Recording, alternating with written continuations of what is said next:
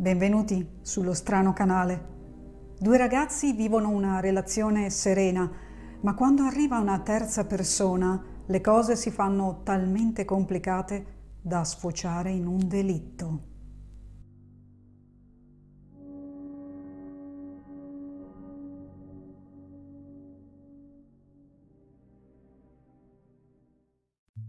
Immaginate di sentir bussare alla porta di aprire e di trovarvi di fronte una ragazza con i vestiti strappati, coperta di fango, sanguinante, piena di lividi e senza scarpe. Vi racconta che è stata aggredita e che ha bisogno di un dottore. Che fate? Non ci credete? È quello che è accaduto a un allevatore di bestiame, Don Sipple, a Spring Brook, vicino a Eau Claire, in Wisconsin. Sono le 4 e un quarto del pomeriggio del 22 marzo 2018. La ragazza si chiama Ezra McCandles, ha 20 anni e la sua storia, visto il suo aspetto, è più che convincente. Don chiama immediatamente il 911. Ezra appare in stato di shock e sulle prime dice di non ricordare nulla. Poi però fa un nome, il suo ex ragazzo Alex Woodworth. È stato lui ad aggredirla e a tentare di ucciderla. Ezra chiede di chiamare un uomo di nome Jason Mengel, che sarebbe il suo attuale ragazzo, con cui ha una relazione traballante, di quelle in cui ci si lascia e ci si riprende di continuo. E in quel momento, tecnicamente, Jason sarebbe il suo ex, dato che si trovano in uno dei periodi in cui non stanno insieme. Ma chi è questa Ezra esattamente? Sta dicendo la verità? Che motivo avremmo di dubitare di lei? Beh, lasciate che vi racconti la storia dall'inizio e capirete. Ezra McCandles nasce il 6 ottobre 1997 a Stanley, in Wisconsin. La madre al tempo ha solo 14 anni, mentre il padre, coetaneo, si dà alla macchia e lascia l'adolescente a occuparsi della neonata. Alla nascita la bambina viene chiamata Monica Kay, ma in seguito cambierà il suo nome in Ezra McCandles scegliendo il cognome ispirandosi alla storia di Chris McCandles, il noto viaggiatore di Into the Wild. Durante l'adolescenza affronta una lunga crisi di identità in cui mette in discussione il suo genere sessuale. In alcuni periodi si identifica come un ragazzo, in altri come una ragazza. Quando tocca i vent'anni sembra trovare un equilibrio come donna e smette di oscillare tra maschio e femmina.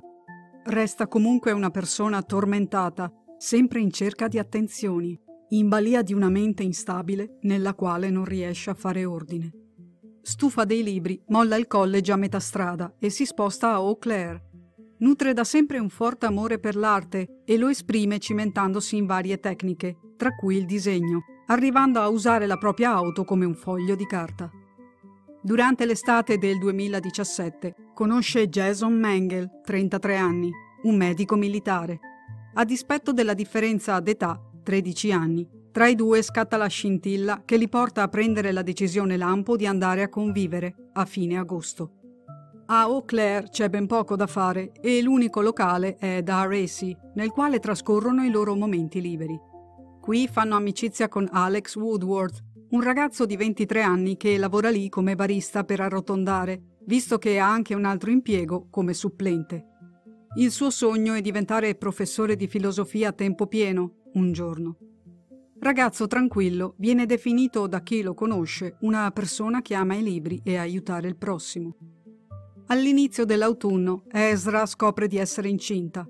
Senza dire nulla a Jason, se ne va a Minneapolis per abortire il 6 ottobre 2017, che tra parentesi è anche il suo compleanno.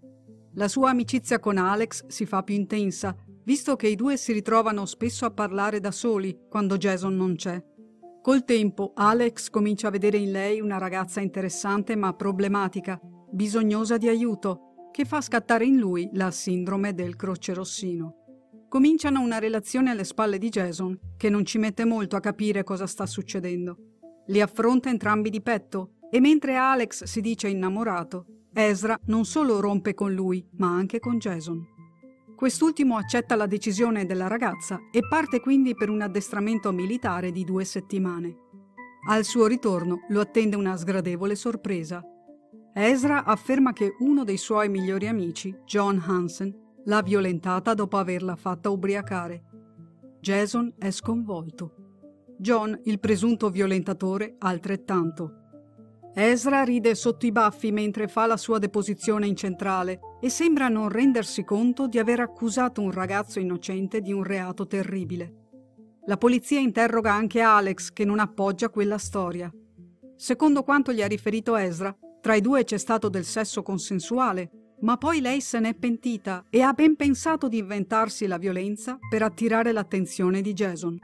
Un modo inquietante di attirare l'attenzione, che apre per noi una finestra sulla mente di una ragazza che gioca con le vite degli altri come fossero marionette.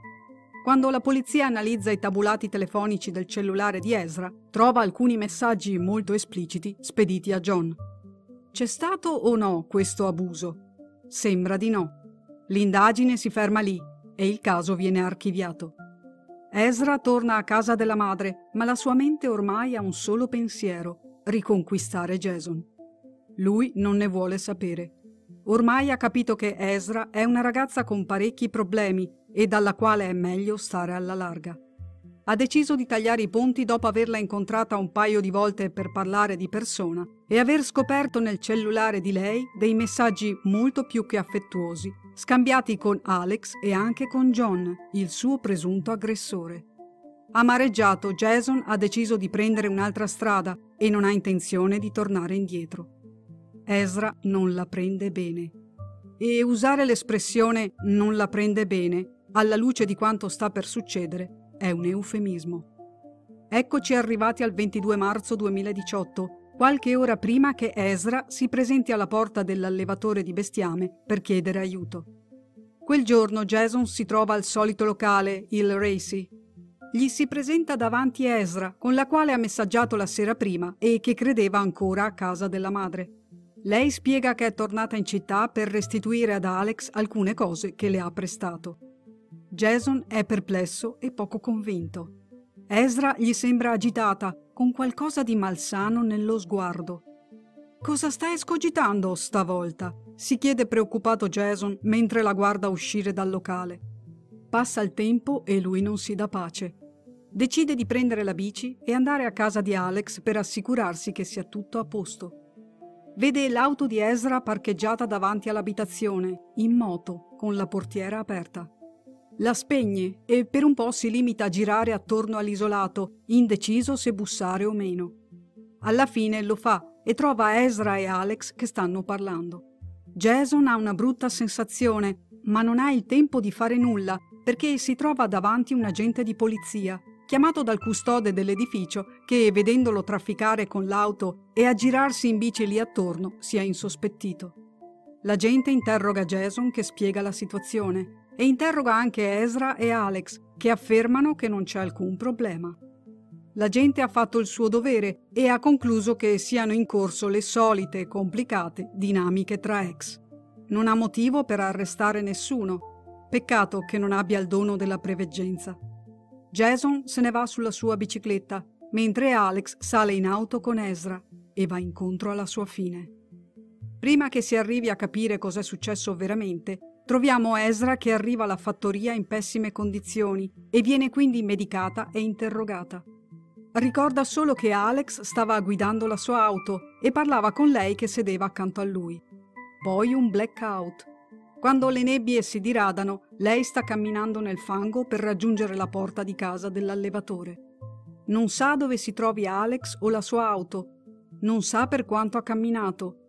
I medici che la prendono in cura devono medicare un'incisione sul suo braccio che dice boy, ovvero ragazzo. Lei non ricorda nulla al riguardo. Alex non si trova e non risponde al cellulare. Casa sua è deserta e i suoi genitori non lo sentono da ore.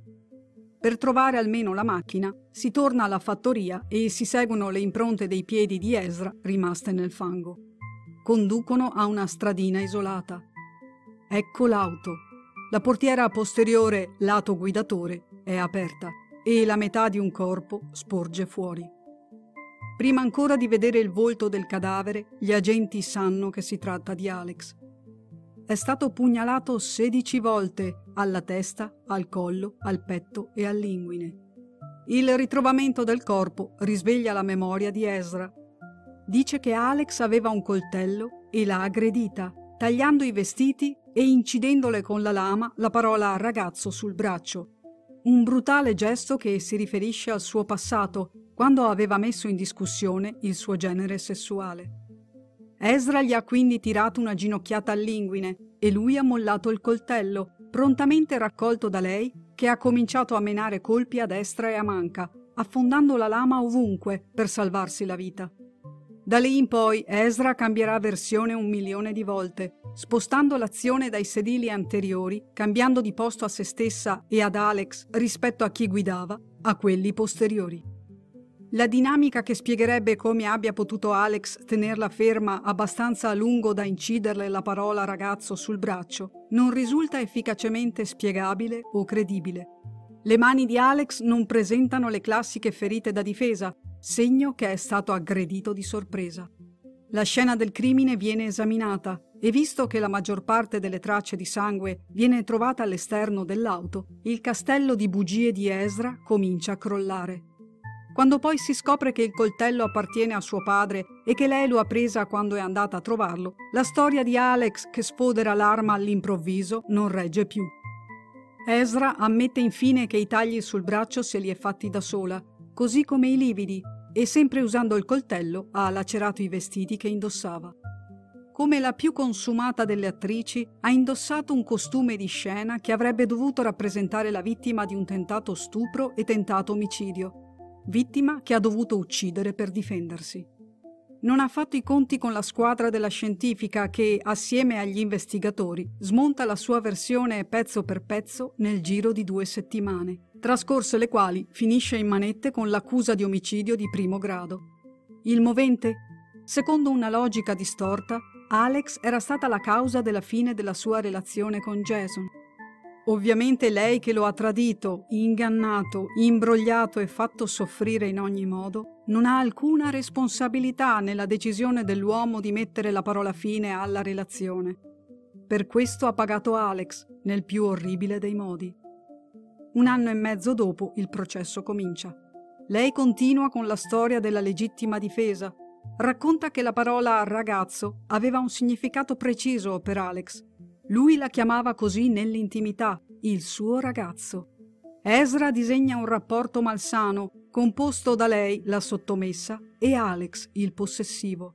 Ezra che a un certo punto vuole interrompere la relazione e Alex che non ci sta.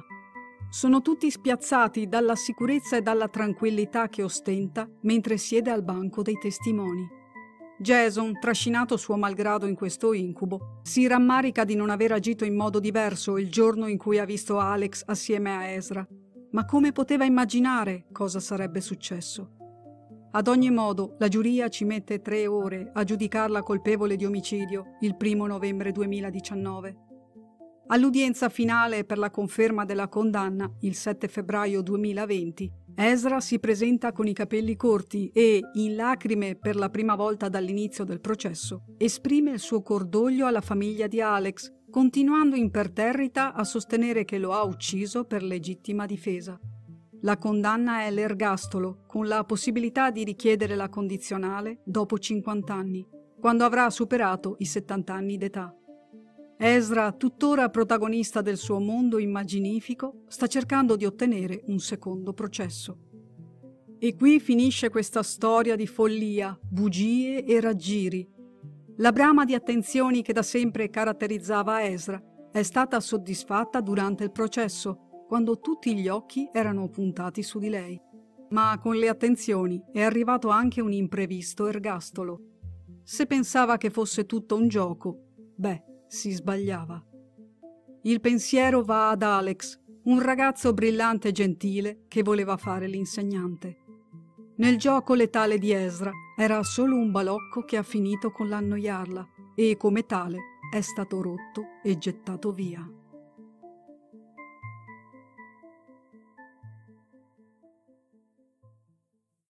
E questa era la storia che ho voluto raccontarvi oggi. Come sempre grazie di cuore per aver guardato questo video. Alla prossima!